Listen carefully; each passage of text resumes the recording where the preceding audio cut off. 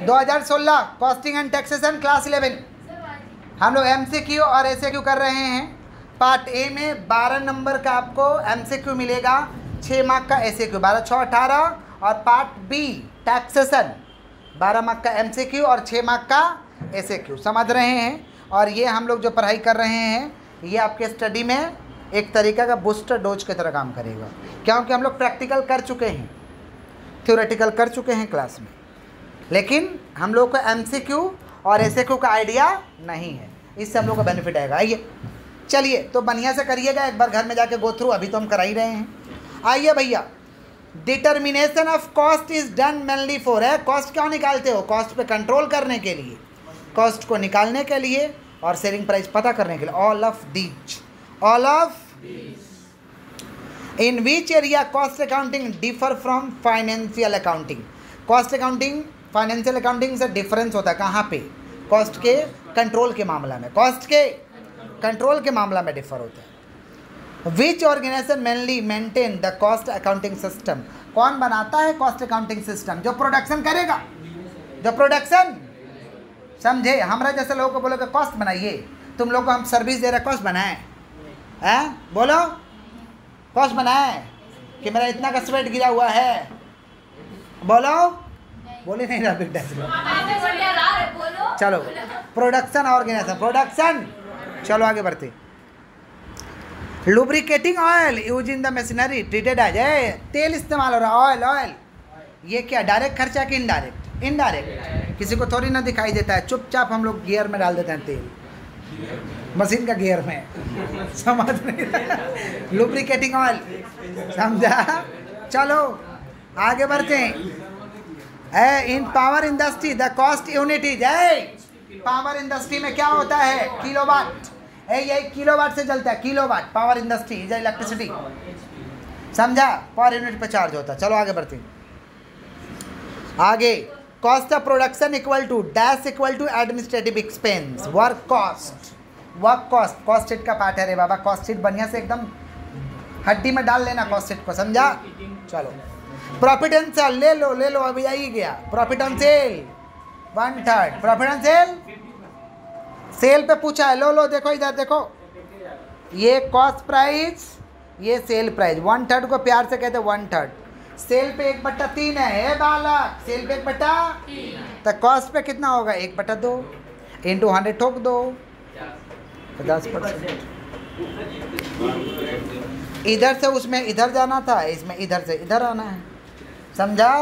चलो चलो चलो। रेडी रेडी चलो next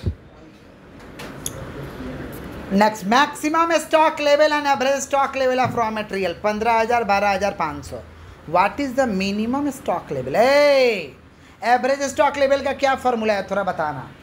Minimum plus maximum divide by two यही फार्मूला है। स्क्रीन पे देखो। स्क्रीन पे देखो। एवरेज स्टॉक लेवल फिल करो।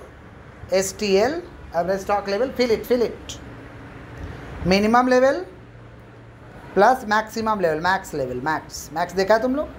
Max level divide by two fill it average stock level कितना दिया भाई? अरे डेटा तो बोलो, पंद्रह हज़ार। ना ना, बारह हज़ार। और मिनिमम नहीं पता। मैक्सिमम तो पता है ना? पंद्रह हज़ार। क्रॉस मल्टीप्लेसन क्रॉस मल्टीप्लेसन इधर से इधर इधर से इधर। इधर से इधर इधर से इधर। तो इधर से इधर करेंगे तो क्या आएगा? मिनिमम लेवल प्लस पंद्रह हज़ार। और इधर कितना होगा? चौबीस हज़ार। तो ये प्लस में इधर जाएगा तो माइनस में। चौबीस माइनस पंद्रह। कितना आ रहा? चौबीस में से पंद्रह घटाने से कितना आ रहा? चौदह में से पाँच जाएगा? नौ। नौ हज़ार। नौ हज़ार भैया, नौ हज़ार। नहीं है नौ हज़ार का। तो दस हज़ार को नौ हज़ार काट के कर दो। ए, बारह हज़ार पाँच सौ है लेकिन ये तो। तो बारह हज़ार पाँच सौ इंटू टू पच्चीस हज़ार। पच्चीस माइनस पंद्रह, दस हज़ार। दस हज़ार, ठीक तो है। बारह हज़ार पाँच सौ इंटू टू पच्चीस हज़ार। हम बारह हज़ार पे लेके किए थे। और पच्चीस हज़ार माइनस दस हज़ार। चलो। इकोनॉमिक ऑर्डर क्वांटिटी चार हज़ार नंबर ऑफ़ ऑर्डर आठ। एनुअल डिमांड कितना होगा? गुना कर दो रे बाबा। ऑर्डर आता डिवाइड करके। ऑर्डर कैसे आता? है A divide by EOQ A divide by यहाँ नंबर ऑफ़ ऑर्डर दिया है और यो क्यू दिया। गुना ठोको। फोर इंटू एट बत्तीस हज़ार হবে चलो। From the following find out reorder level reorder level का क्या फॉर्मूला भैया? Maximum level plus maximum usage plus maximum consumption maximum consumption चार हज़ार है और मैक्सिमम रीऑर्डर पीरियड आठ है। चार हज़ार इंटू आठ कितना हो रहा? बत्तीस हज़ार। अरे रीऑर्डर लेवल का फॉर्मूला याद नहीं है। Maximum usage into maximum reorder period maximum usage into maximum तो मैक्सिमम यूजेज कत दिए छे, चार हज़ार। और मैक्सिमम रीऑर्डर पीरियड आठ तो चार हज़ार इंटू आठ, बत्तीस हज़ार। What is the meaning of ABC B C A B C को कहते हैं activity based costing activity based activity के आधार पे कॉस्टिंग होगा भैया। एक्टिविटी बेस्ड कॉस्टिंग एक्टिविटी के आधार पे। जितना काम, उतना कॉस्टिंग जितना काम, उतना कॉस्टिंग उसी को कहते हैं A B activity based costing चलो। What should be the Indian given by material turnover rate है इंडिकेशन क्या है मटेरियल टर्न ओवर रेट का? Using material storing material efficiency all of which what is meant by costing costing किसको बोलते हैं? Costing refers to methods और techniques of ascertainment of cost पहला class में लिखवाएँ जो नहीं लिखा लिख लेना। कॉस्ट यूनिट कॉस्ट यूनिट का मतलब क्या लिखवाए थे? Cost unit means per unit a product per ton a product per K G a product what is semi variable overhead semi variable overhead consist fixed overhead and variable overhead fixed overhead and? What is sunk cost? याद आ रहा है।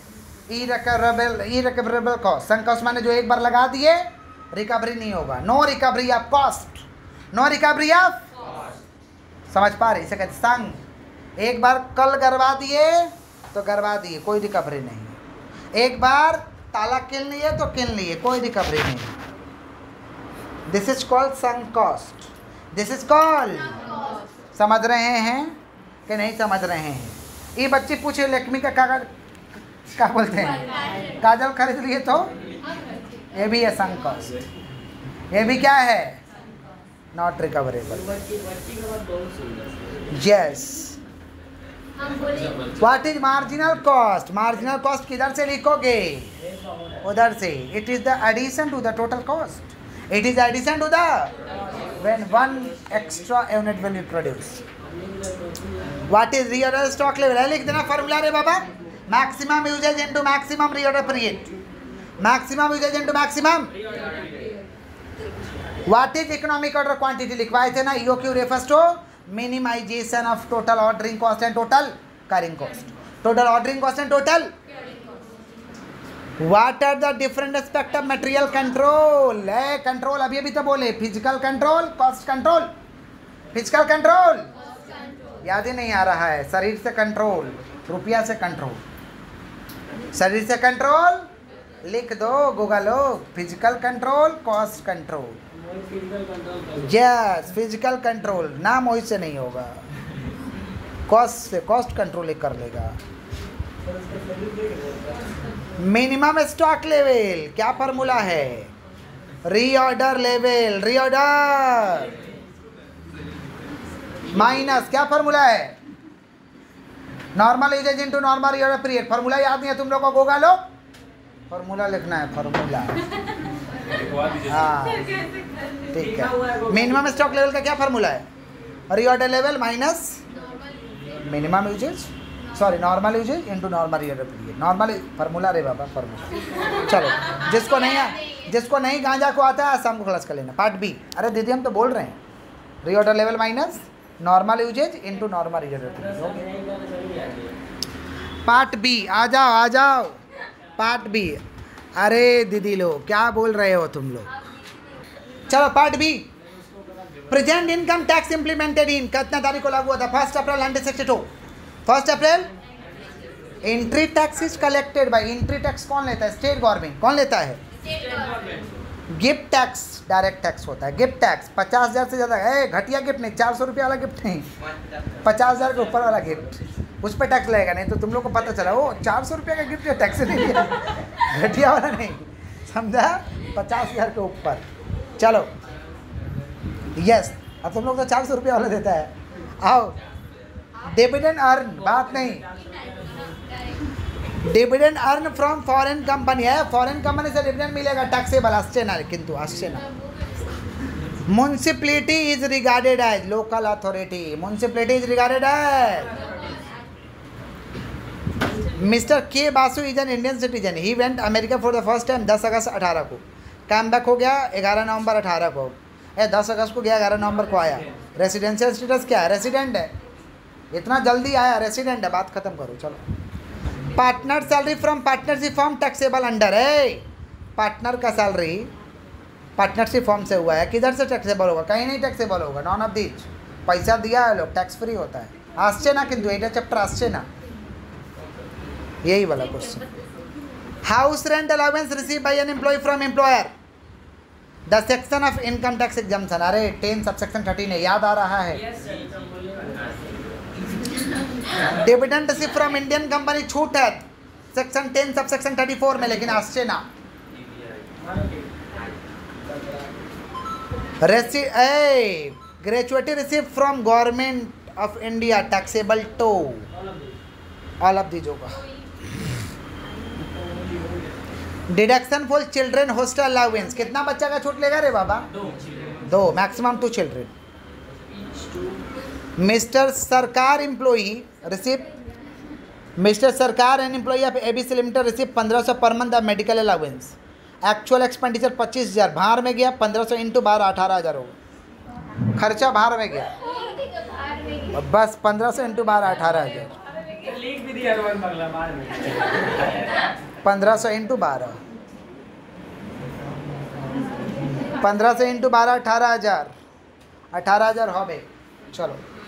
Group B what is a what is the basis of taxability of transport allowance fully taxable in salary fully taxable in perquisite उसी दिन लिखा है परक्यूटेड means क्या चीज़?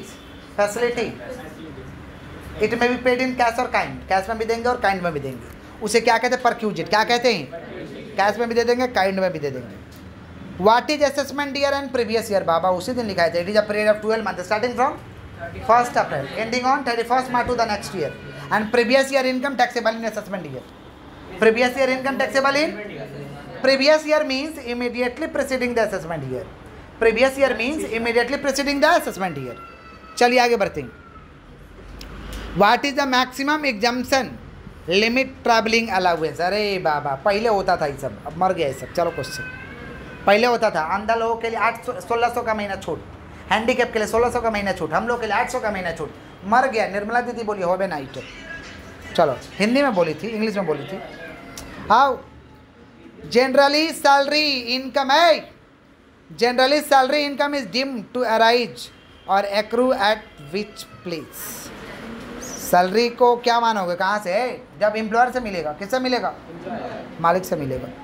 Distinguish between citizenship and residential status है सिटीजनशिप भारत का भाई नागरिक है। ये कैसे साबित होता है? कैसे साबित होता है? By द डॉक्यूमेंट और by द बर्थ और रेसिडेंशियल स्टेटस साबित होता on the basis of number of days stay in India on the basis of number of days stay in यही अंतर है। Next what do mean by person of Indian origin अरे Indian origin कौन है? वो birth in India वो birth in चलो आगे बढ़ते तापस ओन्स एग्रीकल्चर इनकम आएगा नहीं। नीचे state the deduction available from gross income salary under section sixteen पचास हज़ार टाका चालीस हज़ार नहीं पचास करना। जहाँ पे स्टैंडर्ड डिडक्शन चालीस चालीस लिखा था पचास करना। इस बार निर्मला दीदी फिर से इसको पचास कर दिए। कितना करोगे? सैलरी के नीचे वो लिखते हैं ना standard deduction under section sixteen standard deduction under section पचास हज़ार टाका। कितना? पंचोस हज़ार। ठीक है।